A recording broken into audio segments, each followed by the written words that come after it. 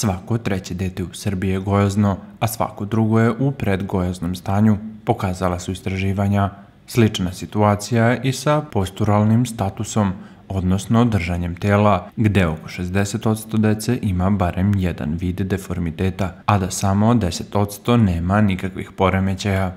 Opština Bečej uz podršku Fakulteta sporta i fizičkog vaspitanja nekoliko godina unazad sprovodi merenje posturalnog statusa kod dece, a ovog puta ove aktivnosti se realizuju u osnovnoj školi Sever Đurkić i osnovnoj školi Šamo Mihalj u Bačkom Petrovom selu. Opština Bečej unazad već nekoliko godina sprovodi ovu aktivnost i posebno, posebnu pažnju poklanja zapravo najmlađima na ovaj način što želimo da na vreme se adekvatno diagnostikuje određena problematika, to jest određeni deformiteti po pitanju kičmenog stuba.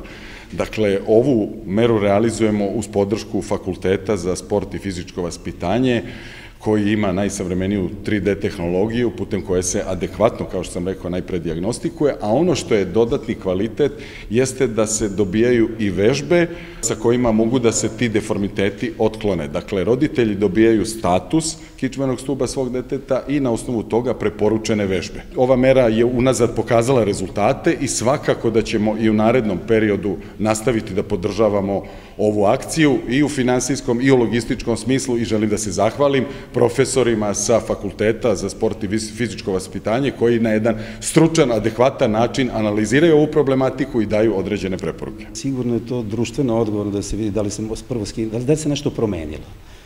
Da li mi možemo da imamo svakog lekara svaki dan? Ne, ne možemo. Ja smatram da e, danas hoćemo da forsiramo jednu stvar, da ko najviše voli svoju decu, vole roditelji. To nisu vežbe za koje treba fakultet i slično, ali sa dobrom jednom sa dobrom ilustracijom, sa dobrom obukom vežbi koje mogu uticati da se recimo spreči kifotično loše držanje, a kasnije i deformiteti, ili postoje čak i rotacioni deformiteti, gde je rame malo rotirano, praktično kičma tu. Onda ima lordotično držanje koje je isto problematično, posle bole leđa, možda se čak može desiti u nekom kasnijem uzrastu i protruzija diska ka napred, recimo u lumbalnom delu ili je, ali mi svi primećujemo ovo kifotično loše držanje. Kažem, malo, malo smo grvavi. I sada bi bilo dobro, evo sad sam kada sa gradonačelnikom pričao, možda bi mogli profesori fizičkog koji imaju, koji drže nastavu u onom od petog do osmog, je li tako? Mogli bi da pomognu. Mi, mi ćemo ostaviti jedan kompleks vežbi sa tutorijalom, gde bi možda i roditelji mogli, a možda bi mogli profesori fizičkog napraviti jednu obuku tih osnovnih vežbi.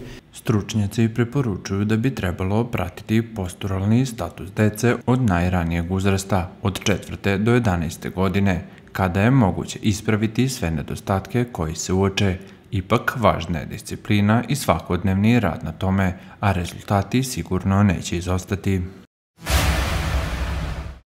Ovog leta u Bečeju biće organizovani raznovrsni sadržaj i manifestacije sportske aktivnosti koje će podržati opština Bečej, rečeno je na konferenciji za novinare koju su održali član opštinskog veća za sport, omladinu, turizam i informisanje David Tufekđić i direktor turističke organizacije opštine Bečej Milan Onjin. Manifestacija Bečej noću biće održana 14. i 15. juna, a prema trenutnim podacima poznata su imena glavnih izvođača, dok će pojedinosti i detalji programa biti saopšteni iduće nedelje na zasebnoj konferenciji.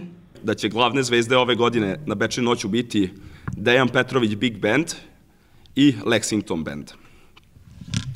Ne smemo naravno i zaboraviti, kao što sam već najavio, kad nešto kažemo to uvek i podržimo, auto cross trke u Bečeju, koje smo prošle godine započeli, auto cross trke koja je završila njihovu sezonu, ove godine baš u Bečeju otvaramo sezonu na istoj stazi, dole na Tisi i ove godine će ta trka biti međunarodna trka koja je okupila građane ne samo Bečeja, nego građane cele Srbije.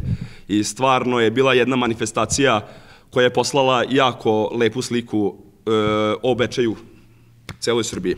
Novina je da će ovog leta Bečej po prvi put biti domaćin noćnih bazara i marketa koji će biti organizovani po uzoru na manifestacije u većim gradovima.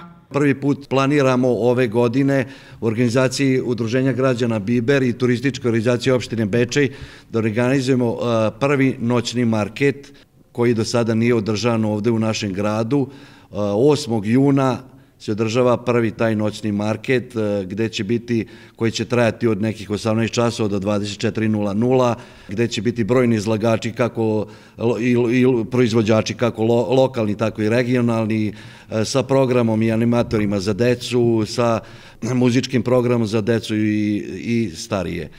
E, to je znači 8. juna, to tako nešto slično ili isto nas čeka u vidu noćnog bazara, koji će ovoga puta biti u organizaciji ovaj regionalne razvojne agencije Bačka pod njihovim pokroviteljstvom, pošto oni to organizuju širom Vojvodine, pa i u Beogradu i Novom Sadu su ti česti noćni bazari, znači pod njihovim pokroviteljstvom će se održati taj noćni bazar slično kao i ovaj naš noćni market, 22.6. isto u tom nekom vremenskom periodu od 18 do 24.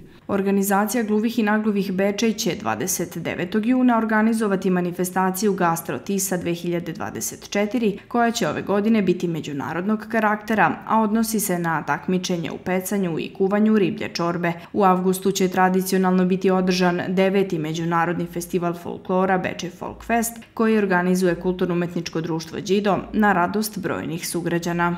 Ove godine imamo potvrđeno gostovanje u Bečeju. Ćemo biti domaćini Gruziji, Španiji, Mađarskoj, Kolumbiji, Kamerunu i sad još nismo odlučili da li prihvatamo Irak ili Iran i imamo najavljen Peru.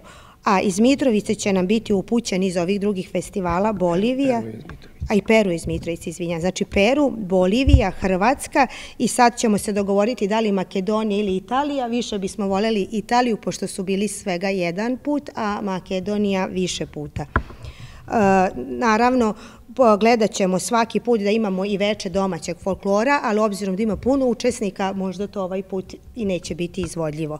Kada je reč o sportskim dešavanjima, od 5. do 7. jula biće održan memorialni turnir u street basketu Slobodan Malešev Bobica u organizaciji Kancelarije za mlade opštine Bečej i Košarkaškog kluba Bečej. Bečej će 24. i 25. avgusta biti domaćin turnira u futbalu 3 na 3, a pored toga biće održan i turnir u malom futbalu u Novom selu, kao i memorialni turnir Zoltan Nađ Čampika u Bačkom Petrovom selu.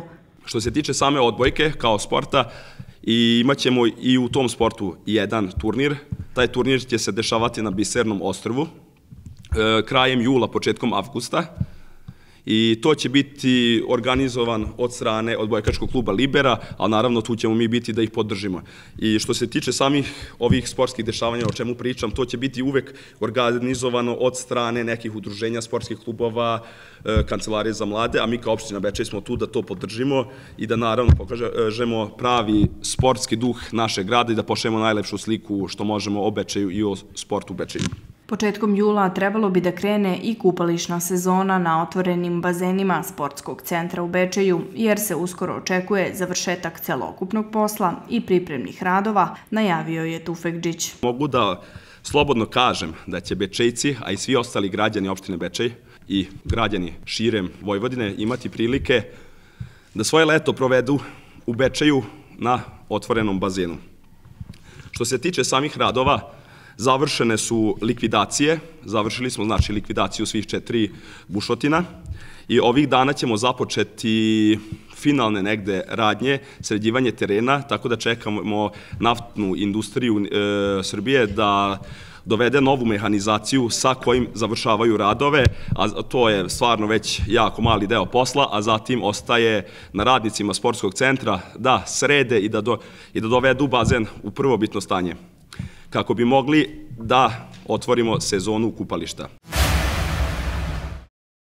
U Bačkom Petrovom selu juče i prekjuče dogodila se serija provala gde su počinioci uzrasta od 13 do 33 godine izvršili šest teških krađa iz kuća i krađu na otvorenom, nezvanično saznaje TV Bečej. Oni su otuđili brodski motor, motornu testeru, razne kućne aparate, pecaroški pribor. Prema nezvaničnim podacima, operativnim radom policije u Bečeju izvršioci su uhvaćeni, a ukradeni predmeti vraćeni vlasnicima.